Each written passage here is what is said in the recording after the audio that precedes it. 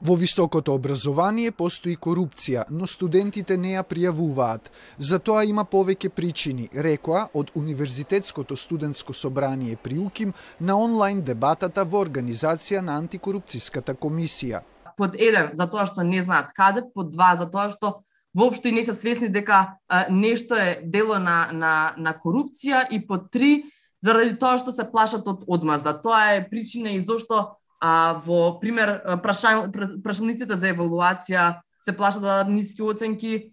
Друг, друг проблем е дека во тие прашалници за евалуација воопшто не е поставено прашањето за корупција. Последното истражување за корупцијата во високото образование е направено во 2012 година.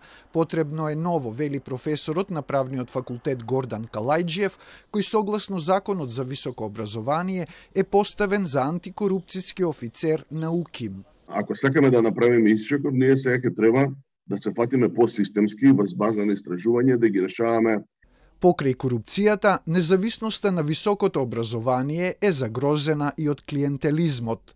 Независните органи, како што се одбор за еволуација, одбор за акредитација и национален совет се поставуваат ако дал согласност министерот.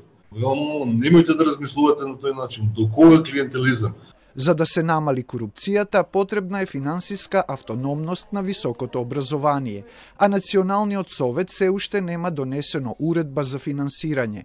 Три години се доцнело и со формирањето на Агенцијата за квалитет во високото образование, чии органи се одборите за акредитација и евалуација, се пожали директорот Агим Рушити. Представниците од универзитетската се избират по еден